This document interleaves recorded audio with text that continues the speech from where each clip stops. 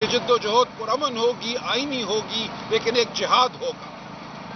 آج ہم یہ دیکھتے ہیں، ہمایوں دلاور جس نے خان صاحب کو ایک جعلی مقدمے میں سزا دی اور ایک انتہائی بانڈے طریقے سے سزا دی، جس کی سزا ہائی کورٹ میں ختم ہو چکی ہے۔ اس کو فائدہ پہنچانے کے لیے اربوں روپے کی اراضی اس کے نام کی گئی ہے۔ ہم اسی طرح دیکھتے ہیں کہ محسن نقوی صاحب کو اٹھا کر اقتدار دے دیا گیا ہے۔ پہلے ان کو وزیر اعلیٰ بنایا گیا، اب ان کو پی سی بی اور اندرونی جو وزارت ہے، وزارت داخلہ، وہ دے دی گئی۔ تو یہ وہ لوگ ہیں جو کہیں نہ کہیں آپ کو فائدہ پہنچاتے ہیں۔ فائدے کے عوض آپ ان کو اٹھاتے ہیں، ابھارتے ہیں، چاہے قانون، آئین، شرافت، کچھ بھی باقی نہ بچے۔ اب ہم یہ دیکھ رہے ہیں کہ قاضی فائز عیسیٰ صاحب کو طول دینے کے لیے اس ملک میں ایک جبر کا نیا دور شروع کر دیا گیا ہے۔ ہمارے ایم این ایز کو ڈرایا، دھمکایا جا رہا ہے، ان کو ٹوٹنے پر مجبور کیا جا رہا ہے۔ لیکن اللہ کا شکر ہے کہ ہمارے ایم این اے ثابت قدم ہیں۔ لیکن ہماری نظر ہے تمام معاملات پر۔ اگر یہ جبر کا عالم ختم نہیں ہوتا، اور اگر اس جبر کے ذریعے ایک ایک آئینی ترمیم کی جاتی ہے، جس کا مقصد قاضی فائز عیسیٰ صاحب کو ہم پر مزید تین سال کے لیے یا جو بھی مدت مقرر کی جاتی ہے، مسلط کرنا ہے، تو ہم اس کو ہرگز قبول نہیں کریں گے۔ ہم اپیل کرتے ہیں جج صاحبان سے بھی کہ وہ ماحول کو دیکھیں۔ کس طریقے سے آئینی ترمیم کی جانب بڑھا جا رہا ہے؟ کیا اس آئینی ترمیم کے حوالے سے کی بنیاد پر وہ اپنے اپنی ملازمت کو طول دینا چاہیں گے؟ یہ معاملات تو اعتبار کے معاملات ہوتے ہیں۔ یہ معاملات قوم کے ضمیر کے معاملات ہوتے ہیں۔ جبر دھوس مار پیٹ سے آئینی ترمیم نہیں کی جاتی، اور اگر ایسے آئینی ترمیم کی جائے گی تو کیا آپ اس آئینی ترمیم کی بنیاد پر چیف جسٹس رہنا یا جج رہنا قبول کریں گے؟ اگر آپ قبول کریں گے تو عوام پاکستان کی قوم قبول نہیں کرے گی۔ ہم جد و جہد کریں گے، ہم آواز بلند کریں گے، ہم ہر سطح پہ مزاحمت کریں گے۔ تو میری اپیل ہے پاکستان کی عوام سے کہ معاملات کا جائزہ لے، معاملات کو سمجھے۔ جہاں ہمیں لے جایا جا رہا ہے، اس اس کھائی میں جانے سے پاکستان کو بچائے۔ یہ فرض صرف سیاسی لیڈران کا نہیں ہے، یہ فرض ہر پاکستانی کا ہے۔ یہ کہنا کہ وکیل کیوں نہیں، تحریک چلاتے چلائیں گے، وکیل بھی تحریک تاجے بھی تحریک چلائیں گے، سیاستدان بھی باہر نکلیں گے۔ لیکن عام شہریوں کو باہر نکلنا ہوگا، آپ سب کو باہر نکلنا ہوگا۔ آپ انتظار کیجیے، اپنے ضمیر کو ٹٹولیے اور وہ دن بہت دور نہیں ہے۔ ہم ابھی بھی توقع کرتے ہیں کہ یہ جو غیر قانونی عمل جاری ہے اس کو روک دیا جائے گا۔ یہ جبر کا جو نظام ہے اس کو ختم کر دیا جائے گا۔ لیکن اگر ایسا نہیں ہوتا تو پھر آپ کو اپنے بچوں کی فلاح کے لیے اپنی آنے والی نسلوں کی فلاح کے لیے ہمارا ساتھ دینا ہوگا۔ ہم کال دیں گے اور آپ کو ہمارے ساتھ آنا ہوگا۔ بہت شکریہ۔ کل والے جی۔ اب کل کے جلسہ، کل ایک اعلان ہوا تھا پہلے ایک احتجاج کا، لیکن ہم اس وقت سمجھ رہے ہیں کہ کل کا احتجاج ہم مؤخر کرتے ہیں، اس کو ہم مزید وقت دیتے ہیں حکومت کو، لیکن زیادہ وقت نہیں۔ گڑک میں ایک جلسہ ہوگا اگلے ہفتے، اور اس کے بعد اکیس تاریخ کو لاہور میں جلسہ ہونا ہے، اور یہ جلسہ ہر صورت ہونا ہے۔ اس لیے کوئی، دیکھیے، کل ایک چھوٹے احتجاج کی بات تھی، وہ احتجاج ہم کل نہیں کر رہے۔ لیکن کڑک کا جلسہ اور اکیس تاریخ کو لاہور کا جلسہ نہیں اکیس تاریخ کو ہر صورت ہوگا۔ لہذا قوم سے اپیل ہے کہ ان معاملات کو اپنے سامنے رکھیں اور ہمت سے اب خوف کا کوئی مطلب نہیں رہا اس ملک میں۔ خوف سے آگے بڑھ جائیے۔ ہم ہرگز خوف زدہ نہیں ہیں۔ جیل ہماری منتظر ہے تو ہم جیل کے منتظر ہیں۔ ہم اب آگے بڑھیں گے اور ہمارے قدم اس وقت تک نہیں رکیں گے جب تک ہم منزل نہیں پا لیتے۔ میرے ساتھ بچر صاحب کھڑے ہیں۔ پنجاب اسمبلی میں قائد حزب اختلاف، یہ بھی کچھ کہنا چاہیں گے، میں دعوت دیتا ہوں بچر صاحب کو۔ جی بسم اللہ الرحمن الرحیم۔ جس طرح ہمارے سیکرٹری جنرل صاحب نے یہ بات کی ہے کہ اس وقت فستائیت کا دور ہے۔ جس طرح سنجانی میں ایک جلسے کو ایک لولا لنگڑا ہمیں اجازت نامہ دے کے تو تین گھنٹے کا اجازت نامہ دے کے اور پورا روڈ بلاک کیا گیا۔ تو میں یہ سمجھتا ہوں کہ اب وہ ٹائم آ گیا ہے کہ عوام کی حکومت عوام کے ہاتھوں میں آئے۔ اور میں یہ دوبارہ کہوں گا کہ ان کے لانے والوں کو کہ جس طرح نائن سپٹمبر کی رات کو جو شب خون ہوا اور جس طرح پارلیمنٹ پہ حملہ ہوا، یہ یاد دلاتی ہے ہمیں مرش اللہ کے دور کی۔ تو ہم تو یہ سمجھتے ہیں کہ پاکستان تحریک انصاف ایک مرش اللہ کے تحت ہی اس کو ٹریٹ کیا جا رہا ہے اور ڈیل کیا جا رہا ہے۔ تو میں اگلی دفعہ انشاءاللہ اکیس اکیس تاریخ کو این او سی، نو این او سی ہمارا جلسہ ہوگا۔ کیونکہ این او سی ہم نے ان کا دیکھ لیا ہے کہ این او سی دے کے یہ ہمیں پورا انہوں نے کارڈن آف کر دیا تھا، سی پیک، پورا موٹر وے، پورا اسلام آباد اور ہم پانچ گھنٹے دوڑتے رہے سڑکوں پہ ہمارے ورکرز۔ تو انشاءاللہ تعالی ہم اکیس کو جلسہ کریں گے۔ کل کا خان صاحب نے یہ کہا ہے کہ کل کا جو ہمارا فلیش پروٹیسٹ تھا اس کو فی الحال موخر کیا جائے اور اکیس پہ اپنا پورا آپ فوکس کریں۔ Thank you very much Salman صاحب یہ بتائیے گا جو آپ کا جلسہ اسلام آباد کا تھا ظاہر ہے اس میں رکاوٹیں کھڑی کی تھی لوگ نہیں پہنچ سکے۔ اگر یہی صورتحال لاہور میں ہوئی تو پھر کیا اسٹریٹجی ہوگی آپ کی؟ دوسرا یہ بتائیے گا کہ گزشتہ دو چار دن سے جو صورتحال ہے، گرفتاریاں ہوئی، علی میر گڈا پور غائب ہو گئے۔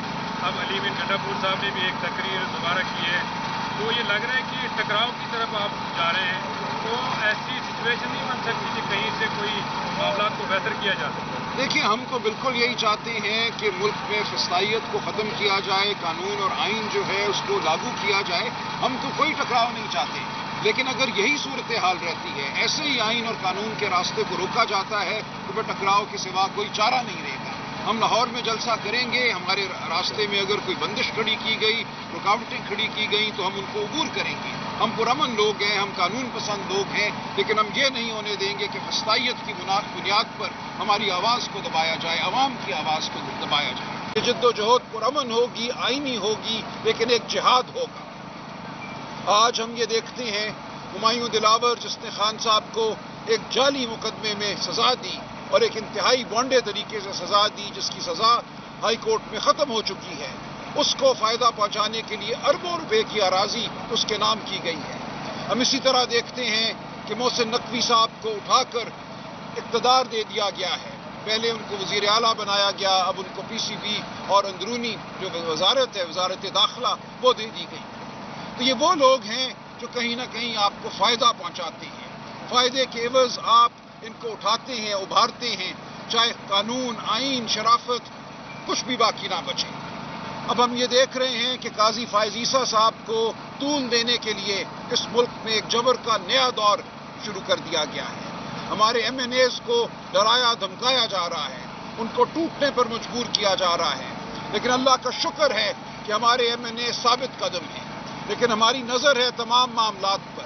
اگر یہ جبر کا عالم ختم نہیں ہوتا اور اگر اس جبر کے ذریعے ایک ایک آئینی ترمیم کی جاتی ہے، جس کا مقصد قاضی فائز عیسیٰ صاحب کو ہم پر مزید تین سال کے لیے یا جو بھی مدت مقرر کی جاتی ہے، مسلط کرنا ہے، تو ہم اس کو ہرگز قبول نہیں کریں گے۔ ہم اپیل کرتے ہیں جج صاحبان سے بھی کہ وہ ماحول کو دیکھیں۔ کس طریقے سے آئینی ترمیم کی جانب بڑھا جا رہا ہے؟ کیا اس آئینی ترمیم کے حوالے سے کی بنیاد پر وہ اپنے، اپنی ملازمت کو طول دینا چاہیں گے؟ یہ معاملات تو اعتبار کے معاملات ہوتے ہیں، یہ معاملات قوم کے ضمیر کے معاملات ہوتے ہیں۔ جبر دھوس مار پیٹ سے آئینی ترمیم نہیں کی جاتی اور اگر ایسے آئینی ترمیم کی جائے گی تو کیا آپ اس آئینی ترمیم کی بنیاد پر چیف جسٹس رہنا یا جج رہنا قبول کریں گے؟ اگر آپ قبول کریں گے تو عوام پاکستان کی قوم قبول نہیں کرے گی۔ ہم جد و جہد کریں گے، ہم آواز بلند کریں گے، ہم ہر سطح پہ مزاحمت کریں گے۔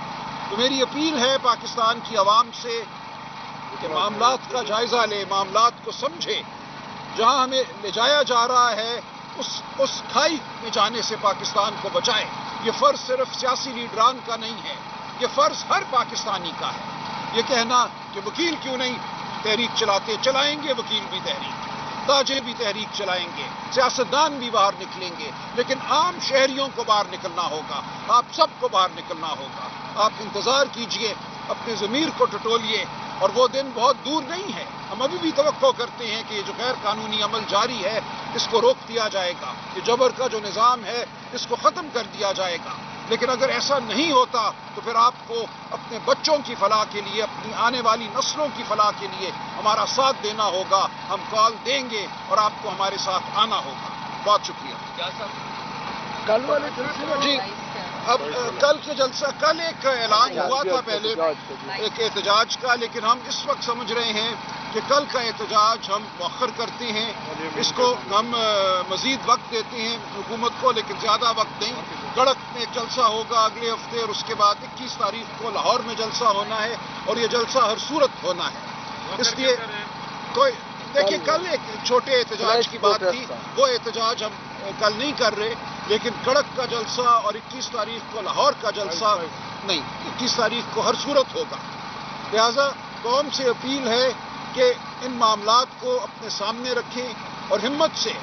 اب خوف کا کوئی مطلب نہیں رہا اس ملک میں۔ خوف سے آگے بڑھ جائیے۔ ہم ہرگز خوف زدہ نہیں ہیں۔ جیل ہماری منتظر ہے تو ہم جیل کے منتظر ہیں۔ ہم اب آگے بڑھیں گے اور ہمارے قدم اس وقت تک نہیں رکیں گے جب تک ہم منزل نہیں پا لیتے۔ میرے ساتھ بچر صاحب کھڑے ہیں۔